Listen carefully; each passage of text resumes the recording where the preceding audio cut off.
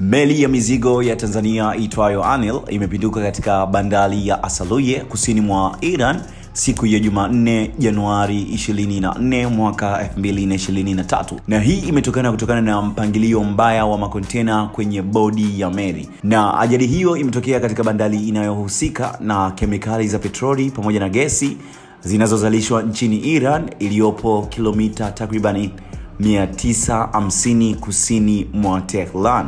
Na katika taarifa hiyo iliyotolewa na Iran, yani tovuti rasmi ya habari ya Iran, ilifichuka kwamba wafanyakazi wa meli waliokolewa na kupelekwa kwenye eneo salama na timu ya uokoaji, huku maelezo zaidi yakiwa bado hayajatolewa.